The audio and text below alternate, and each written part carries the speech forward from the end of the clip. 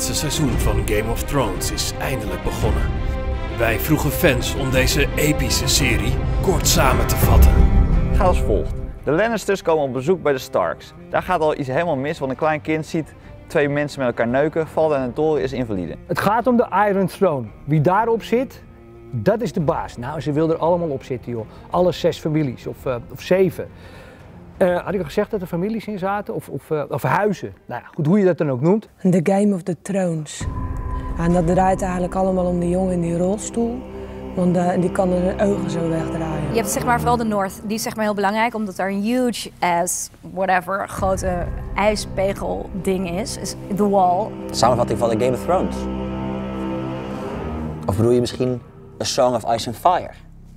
Ja, want zo heet natuurlijk de, de boekenserie. Nou, eerst zit een vent erop, maar die gaat dood. En dan wordt zijn zoon de baas. Maar zijn zoon, dat is niet zijn zoon, want de zoon is de zoon van zijn vrouw en haar broer. Incest. Nou, hè? dan heb je mij, hè? En dan ga je kijken. En Aria die gaat dan zo naar die man met al die gezichten en dan doet hij hop. En dan heeft hij weer een ander gezicht opgezet. Crazy aflevering en die moet je sowieso even terugkijken. Hop, oude vrouw. Aan de andere kant van de wereld woont een meisje en die heeft draak. Hop, donkere meneer. Hop, nou, je snapt wat ik bedoel. Iedereen was er van in de war geraakt. Nou ja, wat ik het leukste eraan vind, is de, zijn, de, zijn de geschiedsparallellen. Het is natuurlijk gebaseerd op echte dingen in de, in de wereld. Had ik al gezegd dat er dwergen in zaten? Er zit een dwerg in. En hij is Joffrey. En Joffrey is dan de koning. Maar die is eigenlijk heel klein nog. En die gaat dan dood en dan leggen ze stenen op zijn ogen. Ja, het is echt een mooie kerel, jongen. Ja, hebben, hebben ze al over Aria gesproken, dat kleine meisje? Nou, ik kan je vertellen, in het eerste seizoen denk ik gewoon, oh, schattig meisje. Nou, seizoen 5 of zo is dat een moordmachine. Als een ninja gaat zo.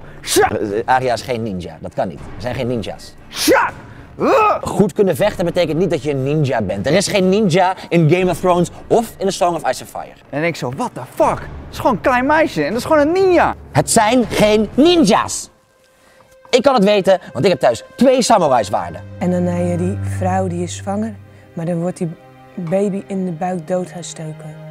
Dat vond ik wel erg interessant. Ik heb het eigenlijk nog nooit gezien. Maar ik schaam me altijd om het te zeggen, dus ik lul maar gewoon mee.